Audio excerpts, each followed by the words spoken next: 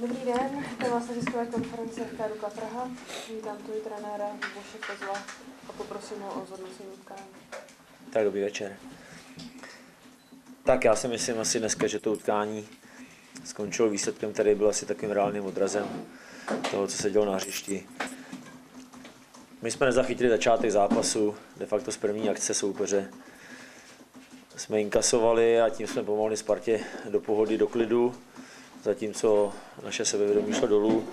a vlastně jsme se plus minus toho jakoby nedostali za celý poločas.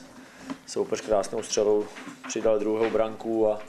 byl v pohodě. My jsme se jakoby vysnažili, ale ten rozdíl té výkonnosti nebo v tom výkonu toho, těch dvou mustev v tom, v tom prvním poločase byl patrný a to vedení Sparty bylo zasloužený. Eh, my jsme udělali jednu změnu o půli a myslím, že nám to trošku prospělo a, a ten vstup do druhé půle byl od nás daleko aktivnější a, a říkal jsem hráčům, že pokud se nám podaří střelit branku, tak to utkání ještě není ztracený a e, jestli mám hledat nějaký pozitiva na tom dnešku, tak určitě to, že, že jsme se přece jenom trošku zvedli, když samozřejmě nemůžu nevidět, že ta Sparta o dva góly vedla, nemusela se nikam hnát, ale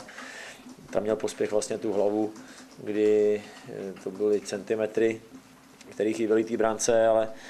víceméně jsme kromě této šance za těch 20-25 minut druhý půle měli možná trošku herní převahu nebo takovou aktivitu, ale vyprodukovali jsme potom chybu, kterou zase Sparta svoji zkušenosti okamžitě potrestala a tím to utkání rozhodla, takže nám se ještě podařilo snížit a ta aktivita nám vydržela, takže s tím výkonem druhý poločas určitě můžu být spokojenější, ale myslím si, že jakoby už v kontextu toho, že ta Sparta měla náskok a nemusela se nikam hrát, tak,